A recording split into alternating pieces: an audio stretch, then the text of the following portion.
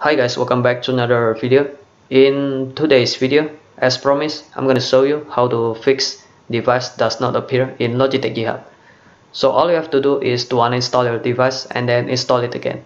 Let me show you how it's done step by step. Okay, let's get started. First, go to device manager. You can click the star icon here or press Windows button and then type device manager. Click on it to open up device manager then go to view and devices by container. Then find the Logitech device that you're using right now.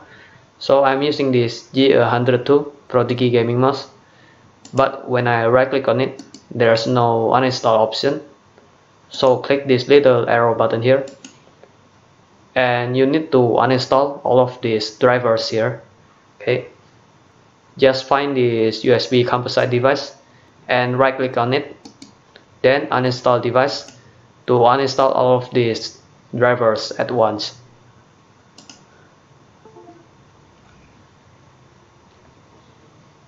Okay as you can see now the mouse that I'm using is not detected in Logitech Hub okay then unplug your device from your computer and then plug it again into a different USB port. And your computer will set up a new device and install all of the drivers. As you can see now my mouse is detected in Logitech G Hub. Then wait until your device is ready. Okay now my device is ready. So that was how to fix device does not appear in Logitech G Hub and one more thing I want to share something useful for you. So while I was looking for solutions to fix all of these Logitech G Hub problems I found this PDF file on Google.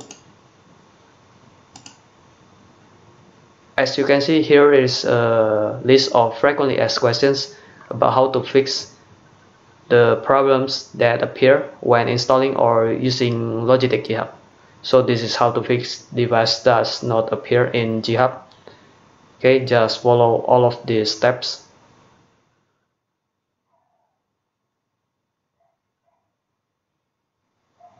And this is how to fix G Hub freezes while loading and logo animation loops. This is audio device not recognized and so on. So there are 28 pages in total I will put the link in the description. Just click on it to open this file. And you can also download it. Just click this download button here. Okay. So that's it for this video. I hope you enjoy and learn something new from this video. Hit the like button if you like this video. Don't forget to subscribe if you haven't already. And I will see you guys in the next video